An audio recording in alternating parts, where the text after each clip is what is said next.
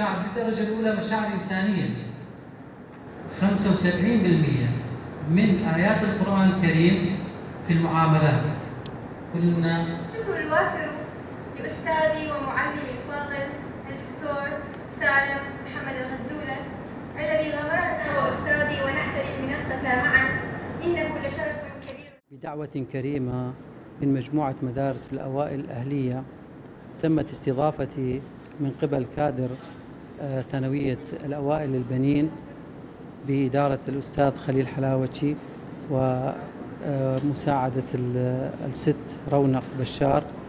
آه، لأتحدث في هذه الجلسة الطيبة الكريمة عن آليات الكتابة وكيفية كتابة الإبداع بكل أشكاله من خلال الحديث عن تجربتي في الكتابة سواء على مستوى الشعر بقصيدة النثر أو على مستوى الكتابة الروائية فكانت هذه الجلسة جلسة علمية بامتياز وجلسة أدبية بامتياز لأنها فتحت أمام الحضور اطلاع على آليات الكتابة وكيفية الكتابة وكيف يستطيع أي إنسان أن يتحول من إنسان بسيط إلى كاتب متميز.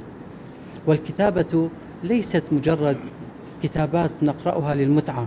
الكتابة تحمل رسائل كثيرة يوجهها الكاتب من خلال رؤيته وفلسفته ومنظوره للقراء ليفيدوا منها وينظروا آه، إلى الحياة من منظاره هو. فالإبداع لا يمكن أن يقف عند نقطة معينة والإبداع لا يمكن أن يقف عند شخصية معينة من الأدباء بل هو منفتح على أفق الرحب ومنفتح على أبعاد كثيرة من أجل الوصول إلى نقطة مهمة جدا وهي تحقيق الذات من خلال الكلمة بالشعر أو الرواية أو القصة. طبعا إحنا النادي الأدبي بثانوي بمجموعة مدارس الأوائل الأهلية الهدف منه هو تشجيع قدرات الطلاب الأدبية اكتشاف المواهب تطويرا. فنحن عندنا طاقات جيدة بمجموعة مدارس الأوائل.